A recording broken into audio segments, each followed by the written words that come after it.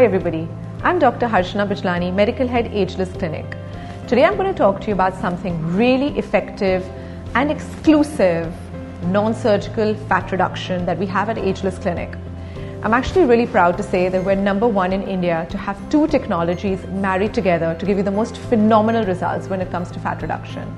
We have something called cool sculpting and warm sculpting. Now, what's the cool sculpting and what's the warm sculpting? Cool sculpting uses a machine that freezes the fat, hence, it's called cool sculpting. It's amazing for people who really want to debulk and reduce the amount of fat that they have. The warm sculpting uses a laser called SculpSure, which actually reduces and contours your body and gives you the shape that you want. Both of them married together is amazing. So, for example, somebody like me, I've had two cesareans and I had a certain pocket of fat above my scar. How much ever I tried, I just couldn't get rid of it. Everyone would look at me and say, Why do you need to do anything?